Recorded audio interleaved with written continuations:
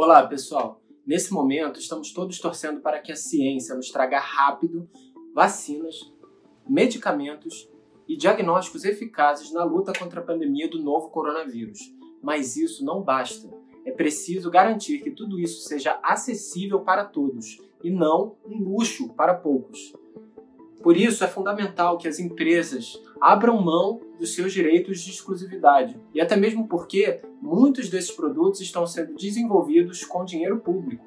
Os governos, por sua vez, precisam usar medidas de saúde pública para impedir o patenteamento desses produtos, como, por exemplo, a licença compulsória.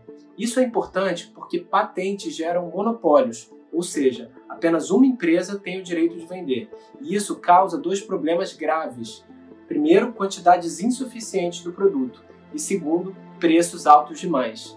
Se isso acontecer, a cura vai se tornar um privilégio apenas para poucos e milhares de pessoas serão excluídas. Ao enfrentar diversas epidemias, sabemos que milhões de pessoas poderiam ter sido salvas caso não fossem os altos preços cobrados por medicamentos patenteados. Precisamos impedir que essa injustiça se repita. Por isso, agora mais do que nunca precisamos afirmar que saúde não é mercadoria e que o conhecimento científico coletivo não é propriedade privada.